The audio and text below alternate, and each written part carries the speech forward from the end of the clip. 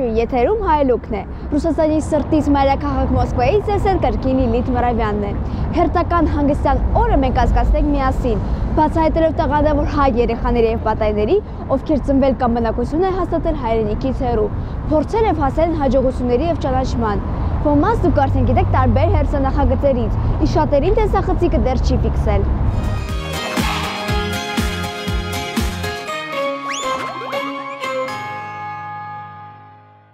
Հաղորդման նկարահանումների իրականացման համար մեր խորհի շնորհակալությունն ենք հայտնում Մարիամ ընկերությանը։ Մարիամ ընկերություն միջ սենյակային դռների արտադրության առաջատարը Ռուսաստանում։ Մարիամ առաջինը հավասարների մեջ։ Այսօրվա մեր հայելուկը արդեն մեծ հիացմունք եւ ճանաչում է վայելում ոչ միայն հայրենիքում, այլև ողջ աշխարհում։ Մնացեք մեզ հետ եւ կհամոզվեք ինքներդ։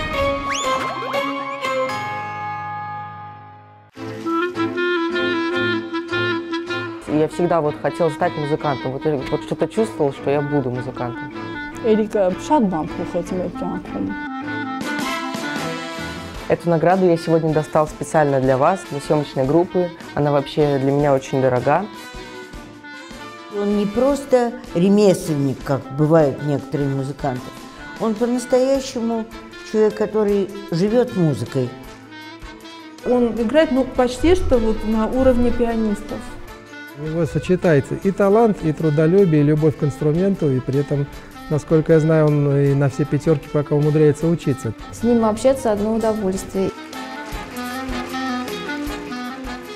Это удивительный такой феномен, который мы наблюдаем. Расцвет вот классической культуры как раз у армянских детей. Э, Я думаю, что он себя в Москве чувствует хорошо, потому что армяне, в принципе, себя чувствуют в Москве хорошо. Вообще я очень горжусь, что я армянин, потому что я считаю, что у меня две родины, не только Россия, но и Армения. И я вообще стараюсь делать все, чтобы эти две родины гордились мной. Ցանկանում եմ ձեզ երկար, երջանկության եւ սիրով լի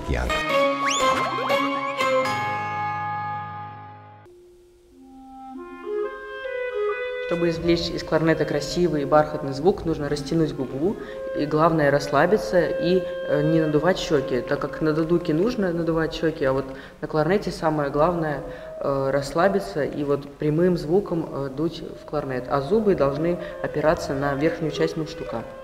Կլարնետը ոչ միայն ամենամելոդիկ երաժշտական գործիքներից մեկն է, այլև ամենավիրտուոզը փայտյա փողային գործիքների շարքից, որը թույլ է տալիս իրագործել տարաբնույթ կատարողական խնդիրներ։ Երկար տարիների քրտնաջան աշխատանք, համբերատարություն եւ իհարկե տաղանդ է հարկավոր կլարնետ նվագելու համար։ Սակայն կան այնպիսիք, ում դա հաջողվում է մեծ վարպետությամբ անկախ տարիքից։ Այսօրվա մեր հայելուկը Էրիկ Միրզոյանն է 14 տարեկան։ Էրիկը ներկայացնես որտեղ է մենք հիմա գտնվում եւ ինչով է այս երաժշտական դպրոցը տարբերվում մյուս երաժշտական դպրոցներից։ Мы находимся в одной из самых лучших и известных школ э, России и мира. Это Центральная музыкальная школа при Московской консерватории имени Петра Ильича Чайковского.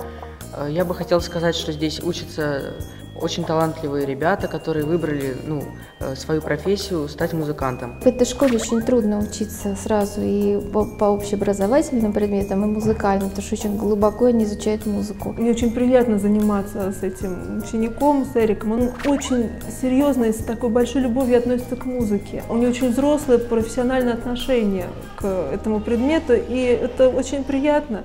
Исков Керен Айстерда Савандум. Ну, здесь преподают э, замечательные педагоги, э, все народные артисты, заслуженные артисты России. Также они все преподают в Московской консерватории, то есть они уже профессора, и также здесь преподают очень известные музыканты. Поступить в Центральную музыкальную школу, безусловно, сложно и в плане количества мест, и большой очень конкурс.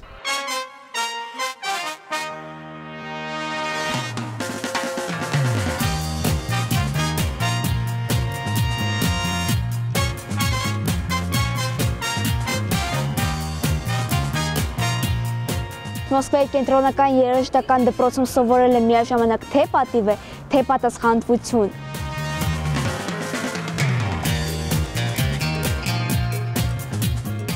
Նման ուսուցչական կազմի մեծանուն երաժշտների հետ աշխատանքը նաև պարտավորեցնող է։ Էրիկն նրանց իր շնորհակալությունն է հայտնում տարեց տարի ավելացող մրցանակներով։ Իսկ դրանք հիշեն, եթե ուզում եք տեսնել, ապա մնացեք մեզ հետ։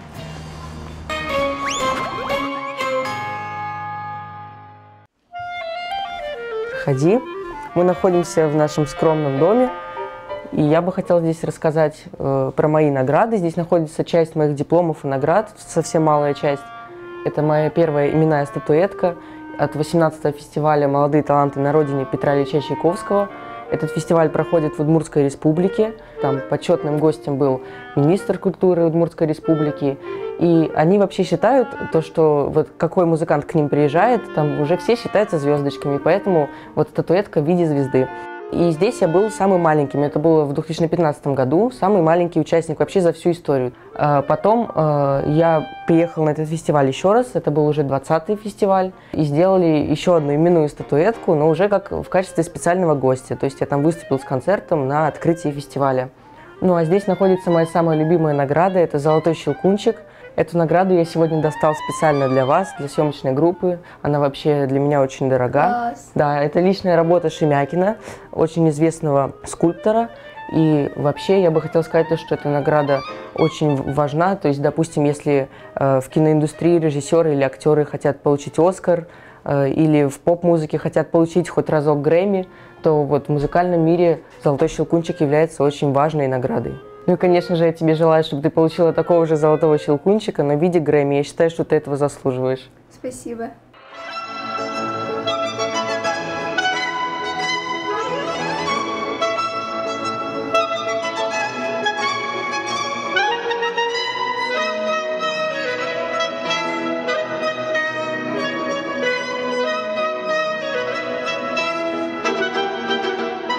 искту антана песерен чесхосум Իհարկե հասկանում եմ եւ ը, խոսում եմ, բայց ինձ- ինձ հեշտ է ը, ռուսերեն խոսել։ Э, Но, к сожалению, я говорю совсем немного, только дома с родителями.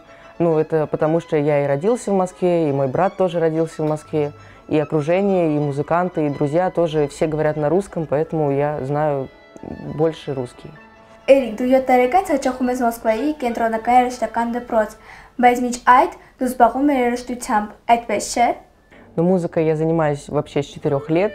И вообще по рассказам мамы, ну, я сам немного помню, то, что я слышал, допустим, какие-то мелодию, допустим, в телевизоре были какие-то концерты. И вот мне мама рассказывала, что я очень часто мог просто гулять там по парку и иногда напевать эти мелодии. И уже тогда у меня было стремление стать музыкантом. И я очень хорошо помню, что когда я проходил вот мимо музыкальной школы, я всегда останавливался с мамой и слушал, как там дети играли. Мне было очень интересно.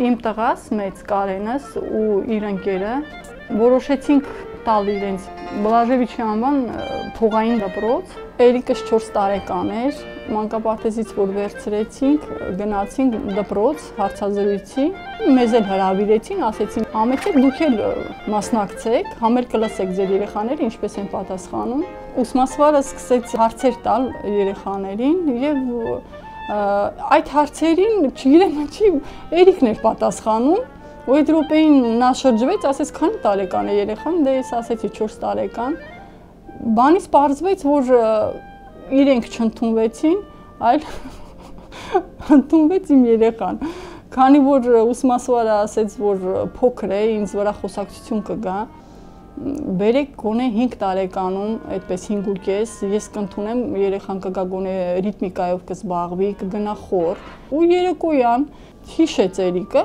հարց տվեց, ասեց՝ «Մամա, ես ը, գնալու եմ երաշտական դպրոց, ասեցի ոչ չես գնալու, ասում է, а что тетя сказала, что я плохой, ասեմ չէ, ուղակի քո տարիքը չի ներում դրա համար։ Էրիկ դու Էրիկ, լացելն էլ չի մանում, սկսես լացելը, երեկոյան ժամը 10-անց է։ Լացում է, ես չեմ կարող հանգստացնեմ իրեն, հարևանս 6-րդ հարկից զանգում է, ասում է, «Նայր, այդ ինչ ես այդ երեխու հետ անում»։ Ասում եմ, դե սենց սենց բան եղավ ուզում է գնա երաշտական դպրոց ասեց հարց չկա ես ծանոթ եմ իմ տղաս այնտեղ սովորում է ես ուսմասվարի հետ կխոսեմ հաջորդ օրը ուսմասվարը ասեց բերեք Էրիկին այնպես անեն գա սոլֆեջոյի ժամին մասնակցի այն հույսով որ ձանձրալի կլինի երեխա համար այդ սոլֆեջոյի ժամը ու կհաստատվի հարցը կհանվի էլի երաշտական դպրոցի։ Երեխին գնաց հենց այդ օրվանից էլ սկսեց պարապելը սոլֆեջոյի մեծ-մեծ կարտոշկաներ էր գրում այսպես նոտաները ու դա էլ ասեմ, որ նա տառերը չգիտեր, այլ նոտաները ավելի շուտ է սովորել, քան ալֆավիտը։ Դա քո ծնողների ցանկություն նշանակել ուսուցում Մոսկվայի կենտրոնական երաժշտական դպրոցում։ Միթե այնտեղ ընդունվելն ու սովորելը բարդ չէ։ Ну, вообще, чтобы поступить э, в Центральную музыкальную школу, мне это посоветовал мой педагог еще по, по блокфлейте. Э, это Анна Александровна. И, безусловно, я сам этого очень хотел, потому что я хотел развиваться. Мне вообще очень нравилась тогда музыка. Вот. И с тех пор я как бы поступил в школу. И, безусловно, ничего бы не вышло без моих педагогов и без моих родителей. Потому что в первую очередь меня поддерживали мои родители, так как экзамен поступления, он очень сложный. Ծնողներին չեն թողնում բարձրանա, շատ խիստ էր այնտեղ, բայց Նատալիա Աշոտովնան վազելով եկավ, Էրիկը ընդունվել է, ես ձեր շնորհավորում եմ։ Մի հատ էլ այնտեղ ծնող կար, իրեն երեխեն չէր ընդունվել։ Սենց նայում ասում եմ, բիզարմանում եմ ձեր վրա, որ դուք այդպես ուրախ չեք։ Ասում եմ, ստեղ մենք արդեն պլատնի ենք ուզում տանք, դե իսկ դուք բյուջետ եք ընդունվել, ուրախ չեք, հələ մտածում եք։ Эрик уже с первого класса блестяще начал, вот занимался у Владимира Анатольевича Ферапонтова покойного. Он շատ լավ մարդ էր, ոնց որ մեր պապիկը լիներ, տենց միշտ հոգատար էր իր աշակերտների նկատմամբ, հատկապես Էրիկի, որովհետև Էրիկը ամենափոքր իր սանն էր։ Он, к сожалению, умер, светлая ему память. И все, что он мне дал за этот год, я вспоминаю до сих пор, уже сколько лет прошло, уже идет восьмой год – но я вспоминаю каждый его урок, каждый день. Он меня научил всему. Он научил меня, как выходить на сцену, как, как кланяться, как играть. Очень хорошо первый класс закончил, уже играл много пьес на кларнете. Это крайне редко, чтобы вот так э, на кларнете играть такой репертуар. Он, в общем, шел со значительным уже опережением. И главное, уже очень ранняя музыкальность у него была. То есть он очень гибко играл, интересно по մուզիկե։ Երկրորդ դասարանում արդեն դե մեր դասատուին արդեն կորցնելուց հետո ոչ մի բան չէր ձգում, Ցեմշան ոչ մի բանով։ Նա որոշեց, որ մամ не хочу там учиться։ Գնացինք Նատալիա Աշոտովնայի մոտ, որ գործերը հետ վերցնենք։ Զարմացած էր շատ, ու ասեց, գիտեք ինչ, ձեզ հետ ուզում է կապնվել Եվգենի Պետրովը, կլարնետիստը, Նա պրոֆեսոր է կոնսերվատորիայում, заслуженный артист Российской Федерации։ Ասես նա ուզում է Էրիկին ընդունել իր խումբ։ Նայեցի, ասեցի, Երևակայի պետք չի։ Կմտածեմ, խնդրում եմ ինձ մեկ օր տվեք։ Ասես նուտի ինտերեսնա է մամաչկա, ասում եմ Պետրովի նման մարդը ուզում է ձեր հետ սվիզացը, իսկ դուք հələ մի օր էլ ուզում եք մտածեք, դուք չեք պատկասում ինչ պրոֆեսոր է նա, քանի մարդիկ արդեն հերթագրված են, որ այդ այդ մի տեղն է ազատվել, ու նա ձեզ է տալիս այդ շանսը։ Потом он очень быстро развивался, и вот э, в 10 лет э, решил участвовать в «Щелкунчике». Я еще даже сомневался, потому что, конечно, при том, что Эрик э, очень хорошо развивался, но там все-таки до 13 лет, и в техническом отношении как, там могли быть дети, которые значительно крепче.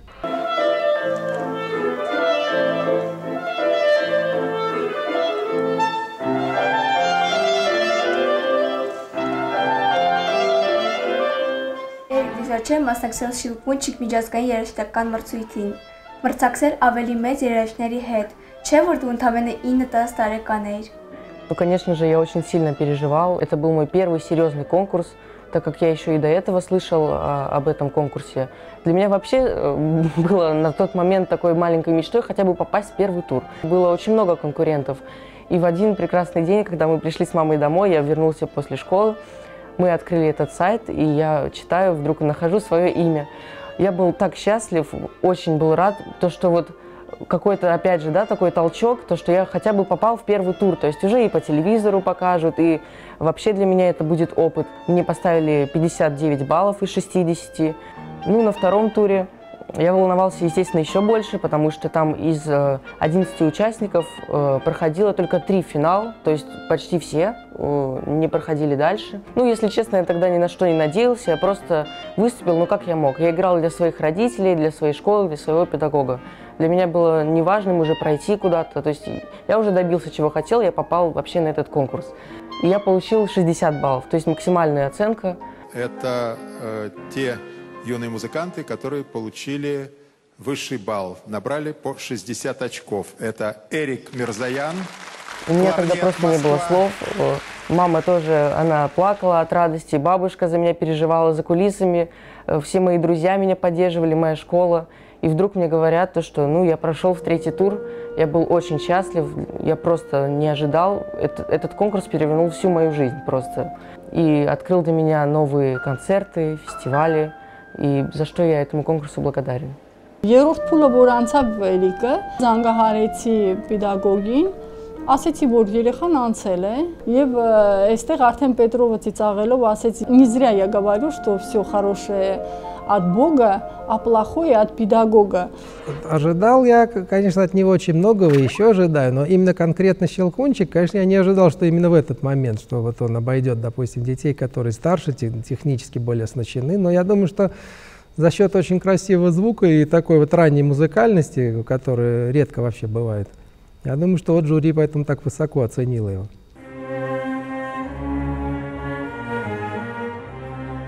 А в финале еще было очень волнительно, потому что э, я первый раз в своей жизни играл с оркестром. Это была огромная ответственность. Тем более финал проходил в легендарном просто зале имени Петра Ильича Чайковского. Хузы черять пага, боже, Эрика նվագեց եւ սպասում ենք թե ինչ գնահատականներ կդնեն В конце уже, когда все участники выступили, те, кто прошли финал, объявление результатов. И когда мне говорят то, что ну, золотой щелкунчик Эрик Мирзаян. И обладателем золотого щелкунчика становится Эрик Мирзаян. Кларнет Москва.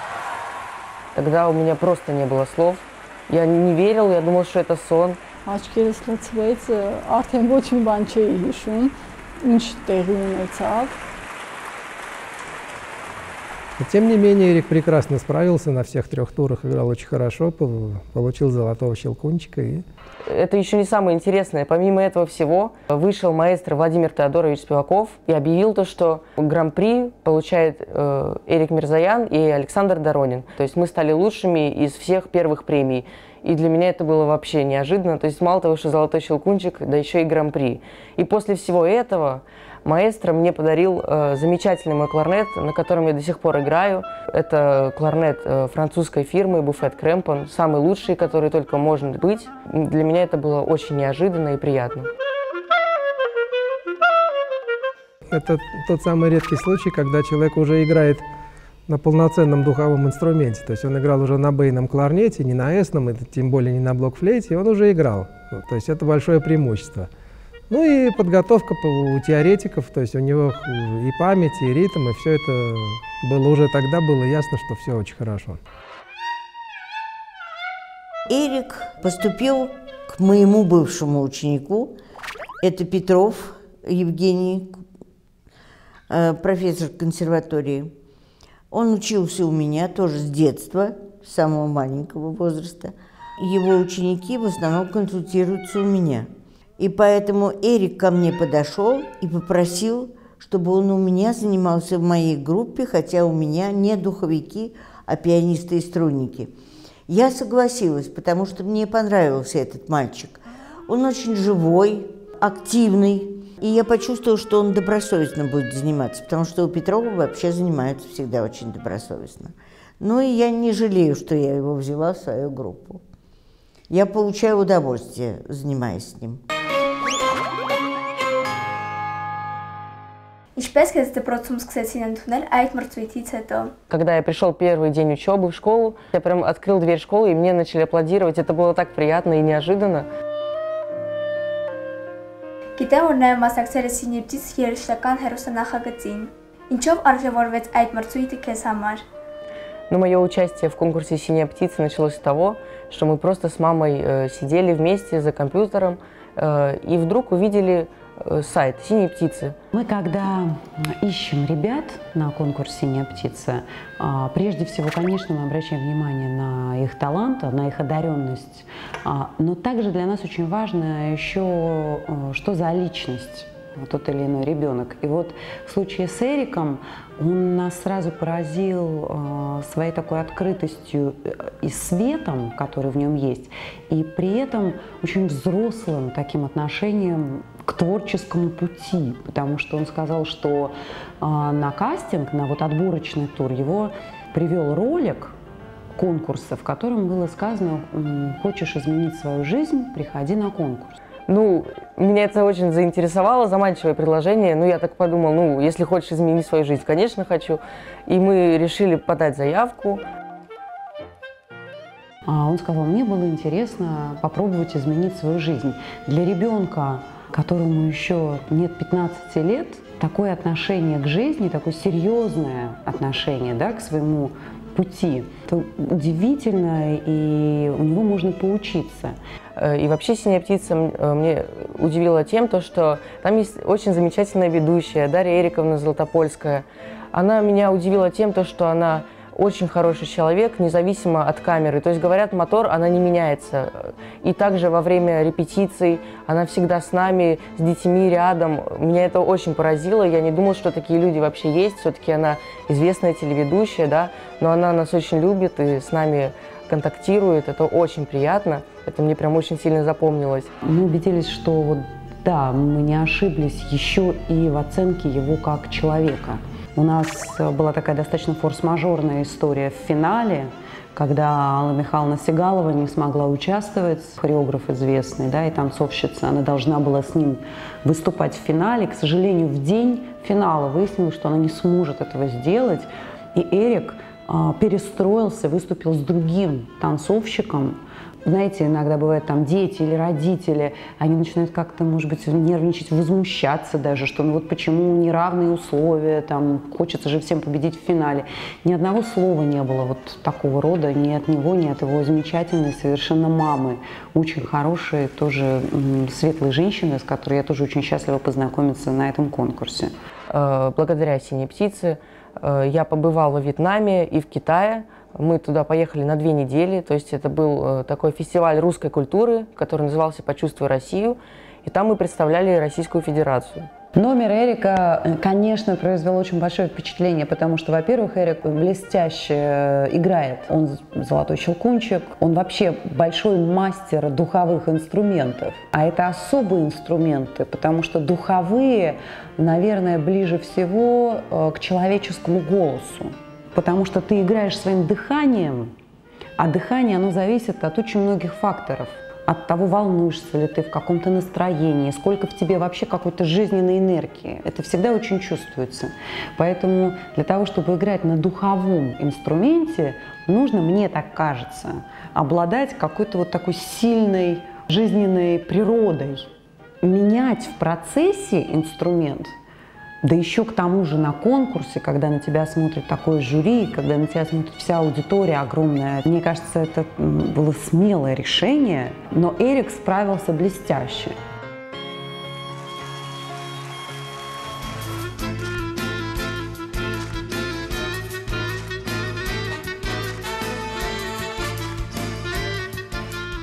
Эрика, вот как он сейчас занимается, если так же он будет и дальше, то у него очень хорошая профессиональная перспектива. Я вот думаю, что и на крупных международных конкурсах в дальнейшем. Естественно, и поступление в консерваторию через 4 года. Так что я на все это рассчитываю.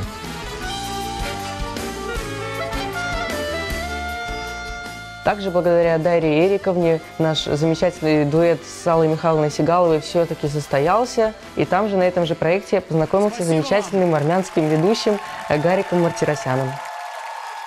Առհասարակ շատ մրցույթների ես մասնակցել։ Ну, вообще, мне так сложилось, что во всех городах и странах, в которых я был, я играл концерты. Это Испания, Италия, Франция, Дания. Недавно я вернулся из Германии, и, а также Китай и Вьетнам. Благодаря моей маме у нас есть такая историческая тетрадь. То есть в этой тетради моя мама записывает все мои концерты, то есть каждый мой концерт, который только был.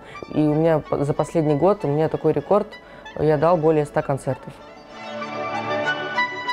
Еще я уже как седьмой год являюсь стипендиатом э, двух фондов на данный момент. Это э, Международный фонд э, Владимира Спивакова и фонд Юрия Розума.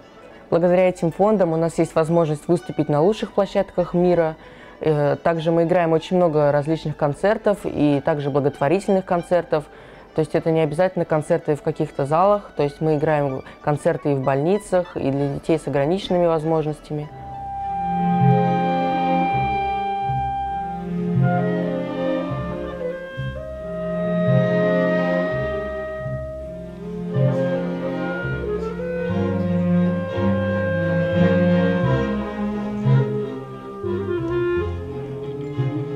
Замечательно сказал э, Пастернак, что единственная новость, которая всегда нова, это талант. Единственная новость, которая всегда нова. Так что, когда мы увидели замечательного мальчика, очень музыкального, э, уже достаточно хорошо владеющего инструментом, мы, конечно, его взяли под свое крылышко, под покровительство фонда. Ну и, соответственно, ведем дальше. Будем следить за ним, как он будет развиваться. То есть при том, что в нем есть яркий темперамент, он умеет себя взять под контроль и быть спокойным тогда, когда это нужно. Вот у артистов часто это противоречит одно другому.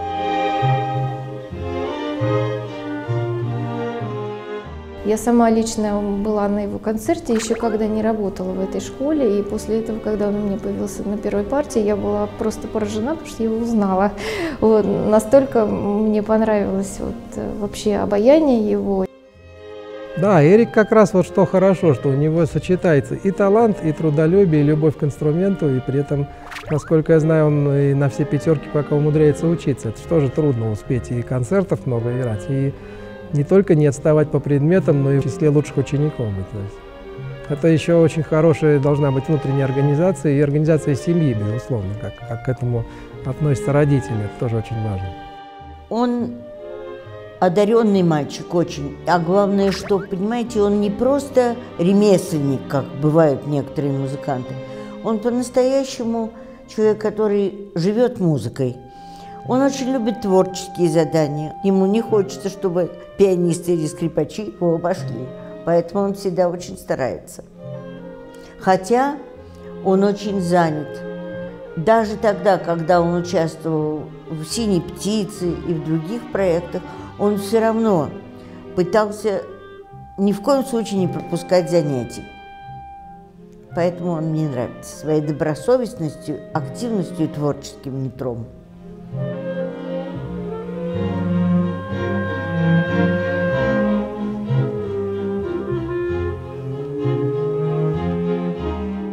Հայաստանում երբևէ ելույթ ունեցել ես։ Ну, конечно же, я выступал в Армении, я был там всего два раза, и вообще моя первая поездка должна была быть в Австрию, то есть за границу. Я всегда мечтал полетать на самолете, но эта поездка отменилась, и я вот прям как знал, что я должен первый раз полететь именно в Армению.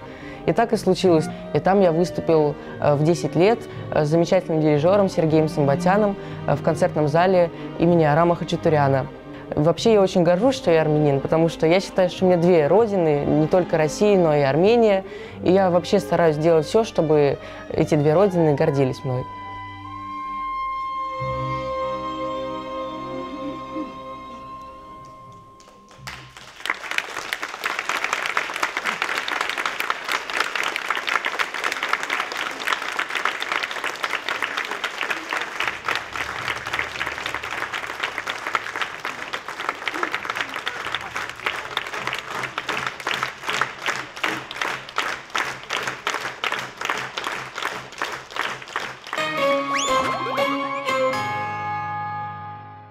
Ինչ երազանքներ եւ նպատակներ ունես։ Но вообще у меня есть э, главная мечта, цель всей моей жизни – это, безусловно, стать известным, востребованным музыкантом. Также я хочу играть в хорошем оркестре. Ну, конечно же, моей главной мечтой является то, что у нас в школе есть э, такая выставка, которая называется «Слава и гордость Центральной музыкальной школы». И, э, безусловно, я бы всегда хотела там оказаться. Там находятся самые известные музыканты, которые когда-то окончили нашу школу. И там э, такие музыканты, как Денис Мацуев, также мой педагог Евгений Петров, Екатерина Мечетина. И там есть также армянские музыканты известные, которые тоже окончили ЦМШ. И я бы очень хотела стать следующим армянским музыкантом, который когда-нибудь будет в этой выставке. Ну и, конечно же, я бы хотела научиться поиграть на дудуке. Это вот всегда было моей главной мечтой, потому что это интересно, и тем более схоже с кларнетом. И вот я всегда хотел попробовать. Էրիկը երբ ընդունվեց CMШ, ես ինչու ուրախ չէի, որովհետև դա մեծ պատասխանատվություն էր կրում, ինչի համար, որովհետև երեխային ինչ որ տեղ էր պետք չէ պարապելու, այն էլ փողային գործիքը կլարնետ։ Մենք ապրում ենք Մոսկվայում, օտարության մեջ, հանրակացարանում, փոքրիկ սենյակ, 5 հոգով 17 քառակուսի մետրի մեջ, երբ որ մեծս գալիս է դպրոց ինքը իր դասերն է ուզում անի, Էրիկն ուզում է կլարնետ նվագի, պլյուս դաշնամուրը, այսինքն խանգարում են իրար եւ դպրոցից Էրիկը միշտ գալիս է 6-ից հետո։ Դե պատկերացնեք, չէ, երեկոյան հարևանները ընդհակառակը 6-ից հետո գալիս են որ հանգստանան, իսկ իմ Էրիկը սկսի կլարնետ նվագելը։ Ամեն դեպքում դա մեծ դժվարություններ էր մեզ համար։ Ես չէի սպասում, որ այդ հաջողությունների մենք կհասնենք։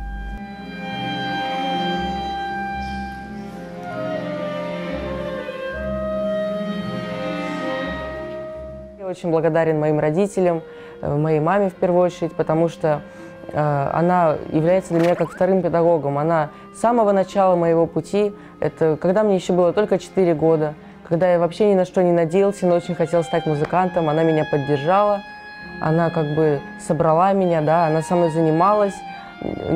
У нее было много проблем и много было факторов, которые могли бы повлиять на то, чтобы я когда-то стал музыкантом. Но мама, несмотря на это, она шла вперед, и сделала все так, чтобы исполнить мою мечту. Ну, конечно же, главную роль в моей жизни также занимает моя любимая бабуля.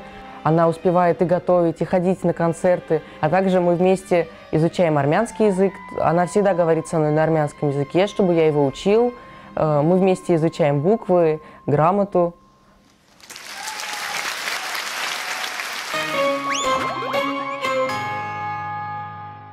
Իմ տեսքը եւ սանրվածքը ապահովում է Lily Fashion Studio-ն։ Շնորհակալություն Lily Fashion Studio աջակցության համար։ Lily Fashion Studio քաղաք Մոսկվա։ Իսկ հիմա մեր հերթական երաժշտական անակնկալը ձեզ համար։ If I wrote a note to God